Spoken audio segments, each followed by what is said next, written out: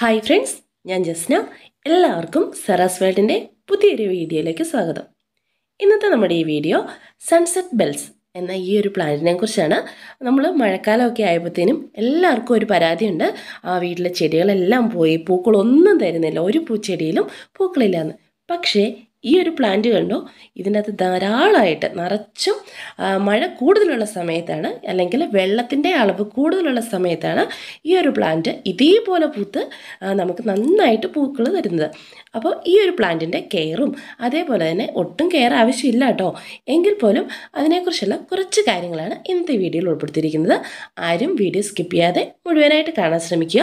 നിങ്ങൾക്ക് video ഇഷ്ടമാകുകയാണെങ്കിൽ like ചെയ്യാനും അതേപോലെ തന്നെ നിങ്ങളുടെ അഭിപ്രായങ്ങൾ കമന്റായിട്ട് രേഖപ്പെടുത്താനും ആരും മടി കാണിക്കരുത്. അപ്പോൾ നമുക്ക് വേഗം വീഡിയോയിലോട്ട് പോയേക്കാട്ടോ ഒരു കാര്യം മറന്നു. ചാനൽ സബ്സ്ക്രൈബ് ചെയ്ത് കാണുന്ന കൂട്ടുകാർ ഒന്ന് സബ്സ്ക്രൈബ് ചെയ്ത് സപ്പോർട്ട് ചെയ്തേക്കണം കേട്ടോ. നമ്മുടെയൊക്കെ മിക്ക ആൾക്കാരുടെയും വീട്ടിൽ ഇതിന്റെ ഒരു പ്ലാന്റെങ്കിലും ഉണ്ടാവുമെന്ന് വിശ്വസിക്കുന്നു. ഈ ഒരു പ്ലാന്റിന്റെ പ്രത്യേകത എന്താണെന്ന് വെച്ചാൽ നമ്മൾ ഈ ഒരു പ്ലാന്റ് ഒരെണ്ണം കൊണ്ട് വെച്ചാൽ മതി. നമ്മുടെ ആ ഭാഗം മുഴുവൻ ഇതിന്റെ അടിയിൽ നിന്നും ചെറിയ ചെറിയ തൈകൾ പൊട്ടി. അതായത് കിഴങ്ങാണ് കിഴങ്ങ് പോലെയുള്ള ഇതിൽ നിന്ന് നിറയെ നമുക്ക് ആ ഒരു പ്രദേശം ഫുള്ള് നിറച്ചും ഈ ഒരു ചെടി നന്നായിട്ട് തിങ്ങി വളർന്ന് ഇതേപോലെ രീതിയിലും കിട്ടുന്നത് ഒരു പ്ലാന്റ് ആയിട്ട് നമുക്ക് കാണാൻ സാധിക്കും.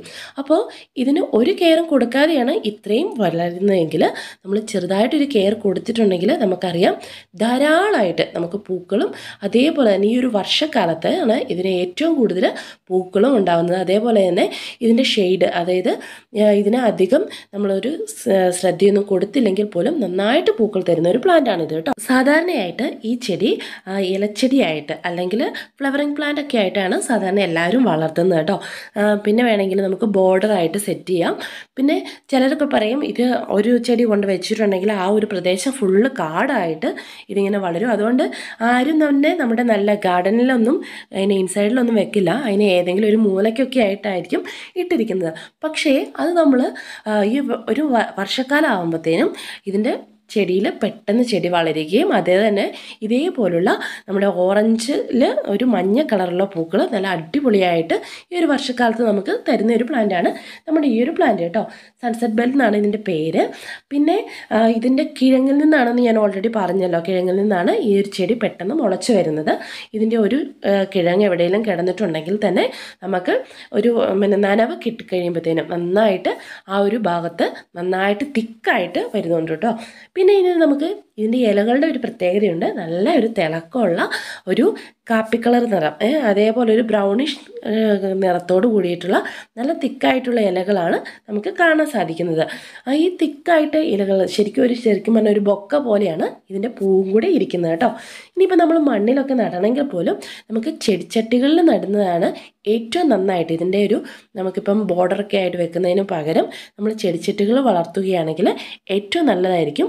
പക്ഷേ നമുക്ക് പ്രത്യേകിച്ച് എന്താ പറയുക വളപ്രയോഗമോ അല്ലെങ്കിൽ മണ്ണിന് പോട്ടി മിക്സോ ഒന്നും ഇതിന് ആവശ്യമില്ല കേട്ടോ. സാധാരണ കുറച്ച് മണ്ണെടുത്ത് അതിന്റെ അകത്ത് കുറച്ച് ചാണകപ്പൊടി ഇട്ട് നമ്മളൊരു ചെടിച്ചട്ടിയിൽ ഇതിന്റെ ഒരു കമ്പ് കൊണ്ട് മുറിച്ച് നടുകയാണെങ്കിൽ പോലും ഇത് പെട്ടെന്ന് ഉണ്ടാകും. പിന്നെ കിഴങ്ങ് നട്ടാണെങ്കിലും ഇത് വളർത്താവുന്ന ഒരു ചെടിയാണ്.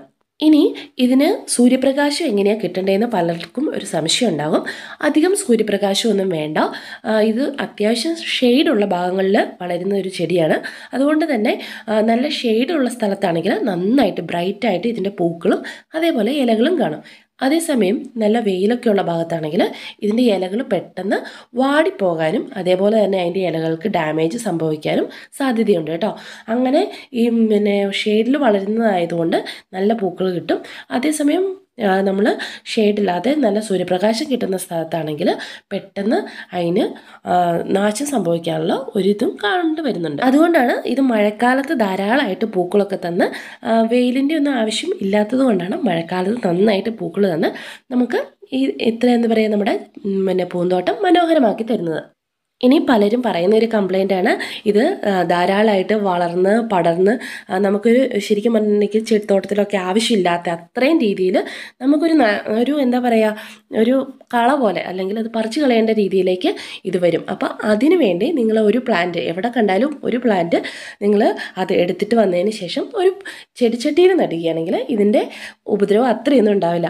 പക്ഷേ ഈ ഒരു പ്ലാന്റ് നിങ്ങളുടെ വീട്ടിലുണ്ടെങ്കിൽ നിങ്ങൾക്ക് എല്ലാ സമയത്തും നമ്മളിപ്പോൾ ചെടിച്ചട്ടിയിലാണെങ്കിൽ നടുന്നെങ്കിൽ എല്ലാ സമയത്തും പൂക്കൾ തരുന്ന നല്ല അടിപൊളി പ്ലാന്റാണ് അപ്പം എല്ലാവരും ഒരു പ്ലാന്റെങ്കിലും ഇതിന്റെ നട്ട് പരിപാലിക്കാൻ ശ്രമിക്കുക. അപ്പോൾ വീഡിയോ ഇഷ്ടമായിട്ടുണ്ടെങ്കിൽ ലൈക്ക് ചെയ്യാനും അതേപോലെ തന്നെ വിലയേറിയ അഭിപ്രായങ്ങൾ അറിയിക്കാനും മടിക്കാൻ നിൽക്കരുത്. അപ്പോൾ അടുത്തൊരു വീഡിയോ ആയിട്ട് വേഗം വരാം. Bye bye take care